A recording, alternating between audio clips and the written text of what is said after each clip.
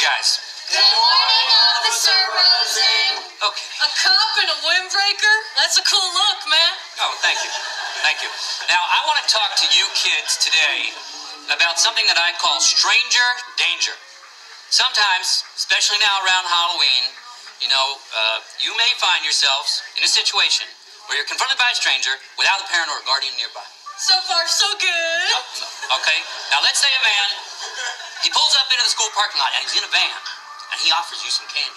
Ooh, I like candy. Uh, well, we all like candy, but the question is, what should you do? Whatever it takes to get that candy. Okay, now, wait a minute, wait a minute, wait a minute. The man, he says to you that what you have to do is get into his van to have that candy. Get in that van. No, no, no, no, no. I'm sorry. It's on me. It's on me. I should have clarified. The man is a stranger. You don't know the man.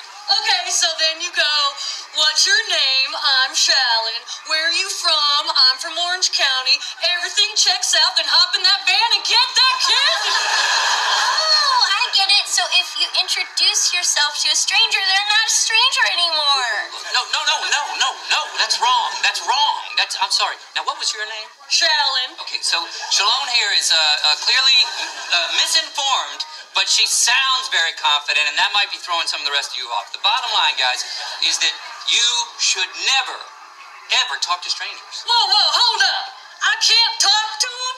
I mean, I'm chilling in this dude's sweet van, eating all his candy, and I'm supposed to just sit there in total silence? That is classic bad manners, man.